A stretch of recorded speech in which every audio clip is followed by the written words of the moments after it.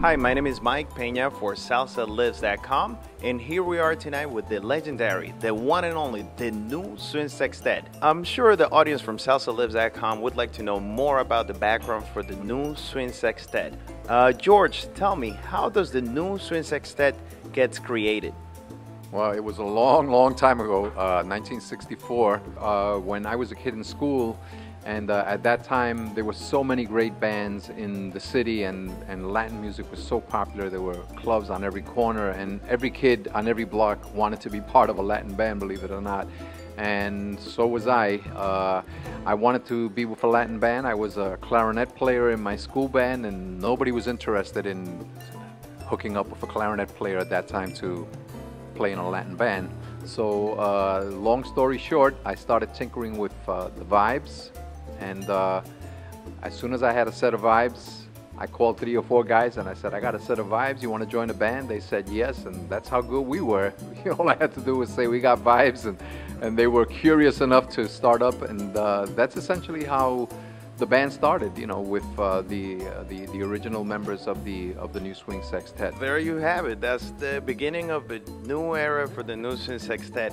How about for you, Angel? What does it mean for you to be part of the New Swing Sextet? Well, I I was one of the uh, the later incomers. Uh, George was the the, uh, the, founder of the New Swing, and uh, when I came in, it was uh, it was it was something that I wanted to do for many many years. I it was one of my favorite bands, one of the bands that I followed a lot.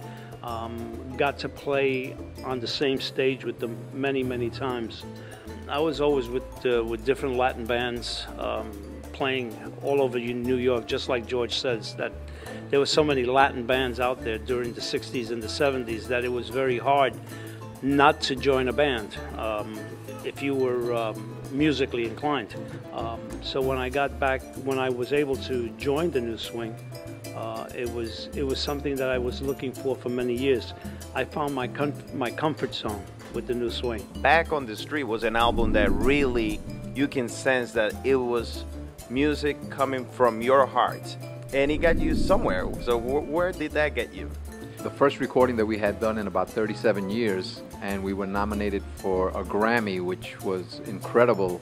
Henry was the producer, uh, Willie Torres uh, the great vocalist and, and musician was uh, the engineer, and uh, the rest was kind of history for us. It was just it's just been an amazing trip.